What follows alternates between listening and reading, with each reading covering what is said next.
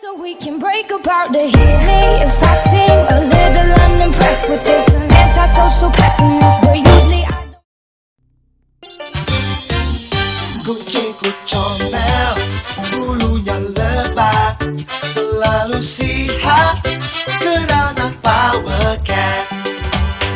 Hai pecinta kucing, ada berita baik. Kini ada Power Cat. Makanan kucing halal, berkualiti premium, tinggi khasiat dan kaya vitamin. Power Cat.